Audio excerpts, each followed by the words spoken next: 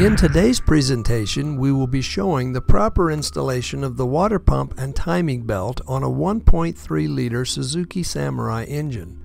We also show the proper procedure of adjusting valves. Although replacing the water pump is not required when servicing the timing belt, it is a good idea since most of the timing belt components have to be removed to access the water pump. So we'll be showing the installation of the water pump as part of this video.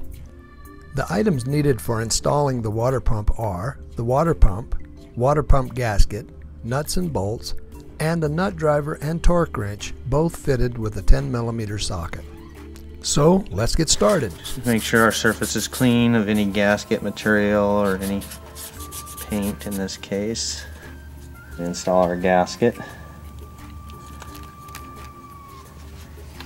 We're going to take our water pump, install it. Here we install the nuts on the studs and the bolts in the remaining holes.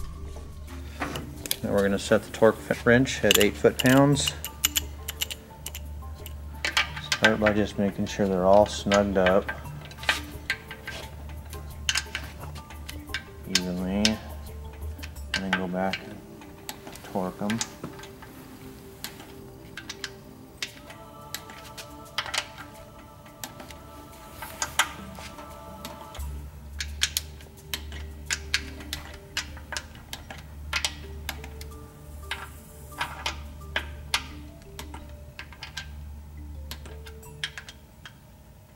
Now on to the timing belt and the associated parts. The parts needed are the timing belt, the timing belt cover, the timing belt rear cover and gasket, and associated hardware. You will also need the tensioner pulley and all the parts associated with that, the crankshaft pulley, and the camshaft pulley.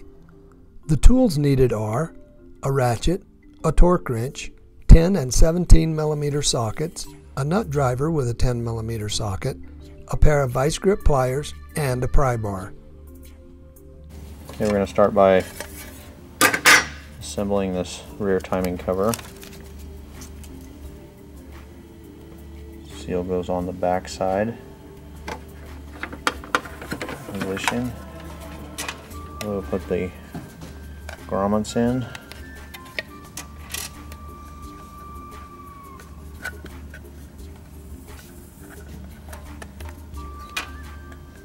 Sleeves.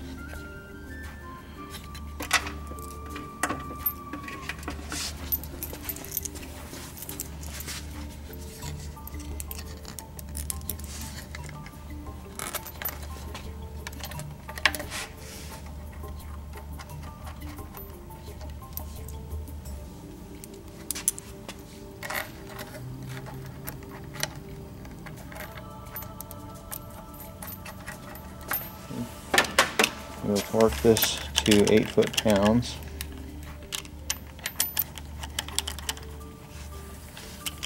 Eight foot-pounds.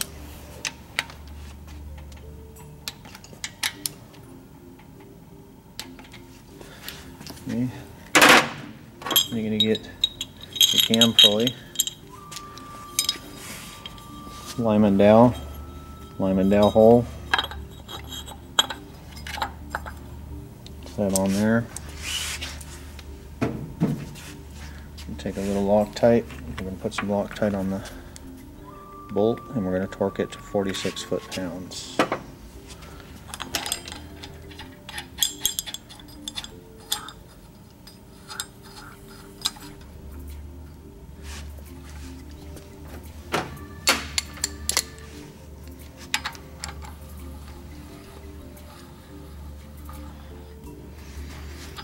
Before we torque it, we'll just take a pair of vice grips, they're on the back side of the cam here. This is a solid cam. If you're using the hollow cam, you want to be careful not to grip it too tight.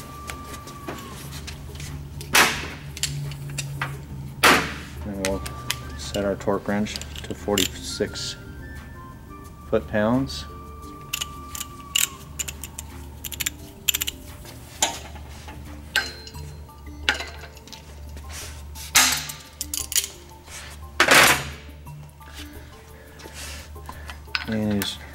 This all the way up, line your timing mark here, up with the rear timing cover mark there.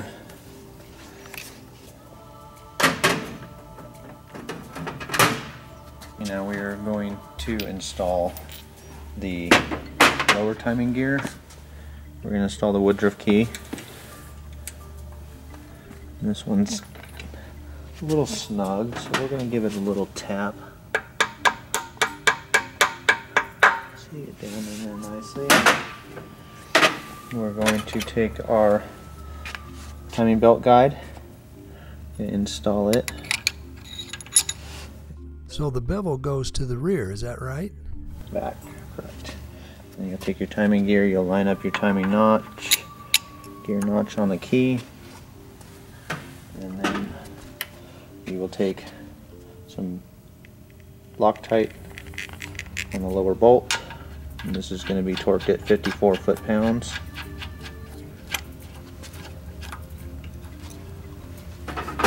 We're going to take our pry bar and stick it in the back here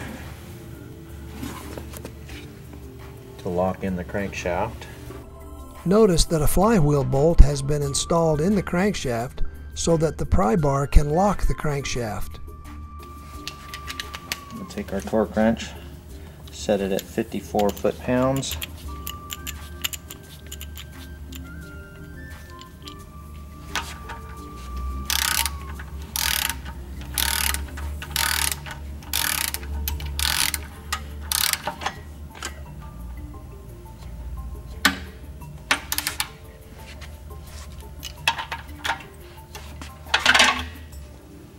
Bring your timing mark back up. So the timing mark lines up with the yellow arrow on the oil pump. And in this position with the crankshaft timing mark up, your camshaft timing mark up, you'd be on top dead center number four. So now we're going to install our timing tensioner. So we have our timing tensioner bracket and our timing tensioner and you want to locate the hole on there and line up the little tab in that hole and that's what's going to actually adjust the pulley itself and then we're going to take it and we're going to install it right on the engine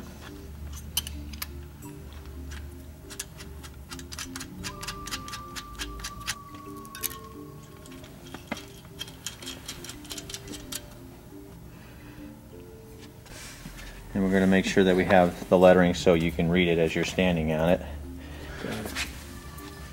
You're going to make sure your timing marks stay lined up.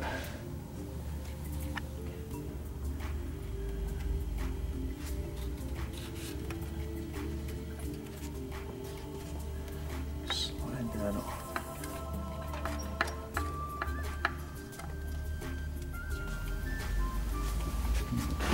Your tension spring. Install the tension spring.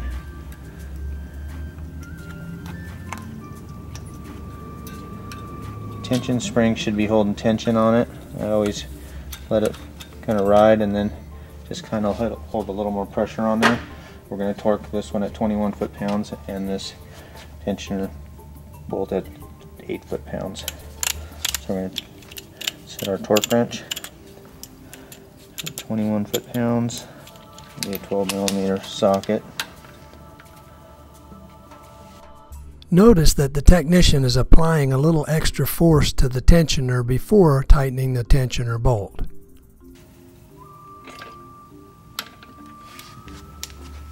We're going to reset our torque wrench at 8 foot-pounds.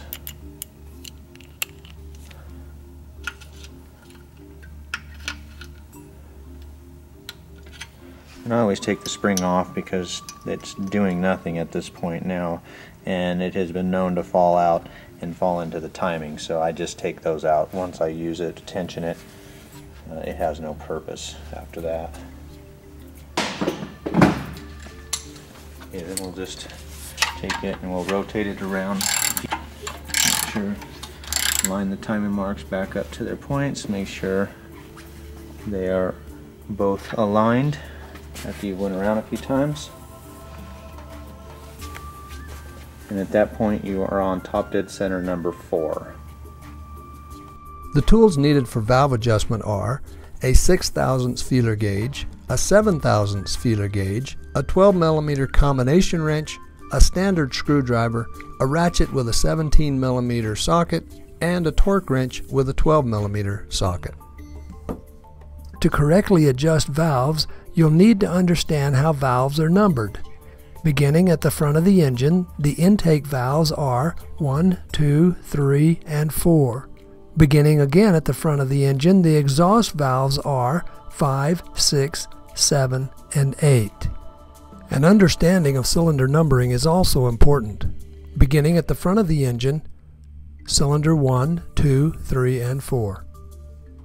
Okay, so now we're going to adjust the valves, and we're on top dead center number 4, both timing marks pointing up, and on top dead center number 4, we're going to want to adjust the intake valves of number uh, 3 and 4, and the exhaust valves we're going to want to do number 6 and 8. Okay, we're going to do the intake valves at 6 thousandths, and we're going to do the ex exhaust valves at 7 thousandths, and those are cold uh, measurements. Okay, so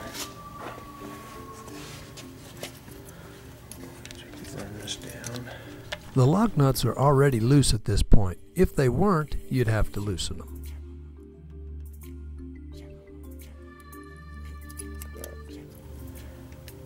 I'll adjust them so there's just a drag on there.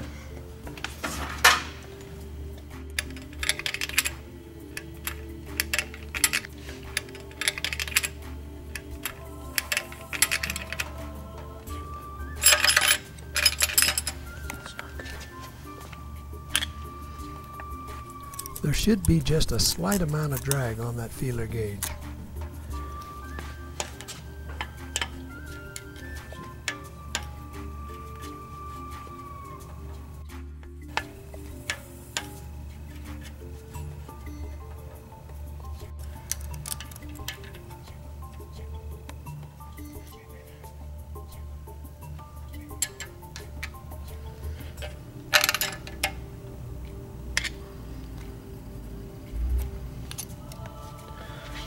Do the intake.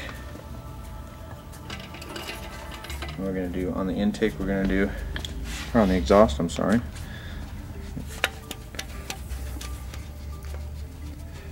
Going to do seven thousandths.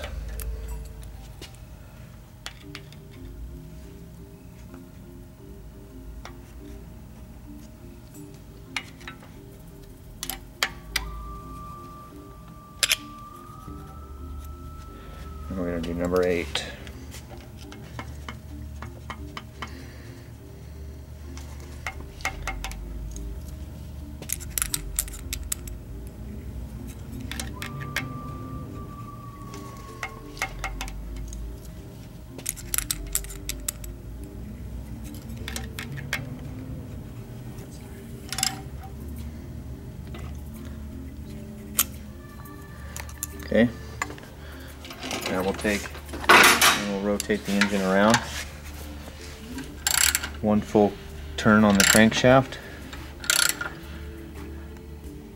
One full turn on the crankshaft we'll put this at number top dead center number one where your upper timing mark is pointing down and your crankshaft is at its original uh, mark.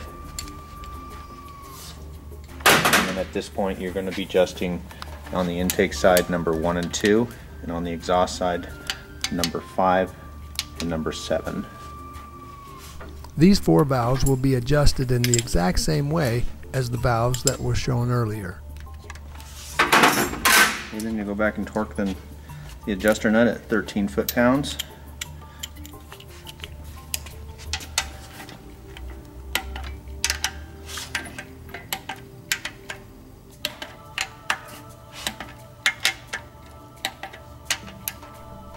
That concludes today's presentation.